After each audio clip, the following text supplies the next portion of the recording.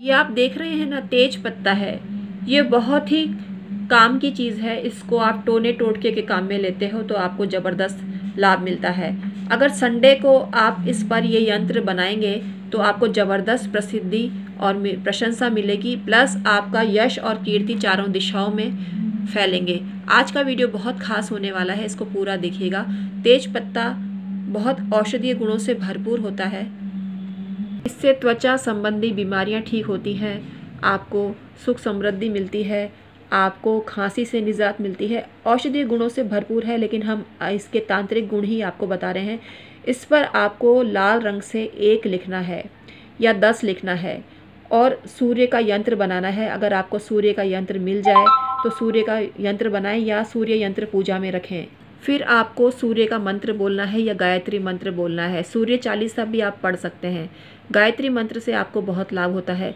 सभी जानकारी दे देंगे आज के वीडियो में। हम हैं एस्ट्रोलॉजर और वास्तु कंसल्टेंट डॉक्टर उमा श्री हमारे चैनल में आपका स्वागत है, व्यूवर्स, सब्सक्राइबर। आप यूँ ही तरक्की करते रहें और उन्नति होती रहे आपकी। तो आपको दुआ देते हैं और इसी शुभकामना के साथ आइए आज का वीडियो शुरू करते हैं। जानकारी पसंद आए तो लाइक करें शेयर करके पुण्य लाभ कमाएँ और कमेंट सेक्शन में आपको ओम नमः शिवाय और जय माता दी के साथ में सूर्य देव की जय बोलनी है, छाया माता की भी जय बोलनी है। आपको संडे को आदित्य हृदय का स्रोत का पाठ करना चाहिए। इससे आपको ज़बरदस्त प्रशंसा मिलती है और कीर्ति आपकी चारों दिशाओं में फैलती है। सूर्य चालीसा पढ़ें, सूर्य का व्रत करें रविवार को तो आपको फ़ायदा होता है।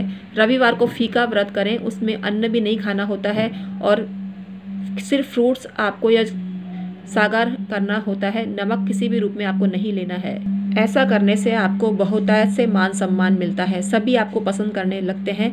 आपकी कोई भी बुराई नहीं करता। अगर आप ऑफ़िस में बॉस हैं तो बैक बाइटिंग नहीं होती है, चुगलखोरी आपकी नहीं होती है, बल्कि आपकी कोई निंदा करने का दुस्साहस भी नहीं करता। आप इतने अच्छे लगते हैं सबको जिससे आपको फ़ायदा होता है। तेज पत्ते पर दस लिख के पूजा स्थान में रखें। लाल स्याही से या रक्त चंदन से या लाल चंदन से।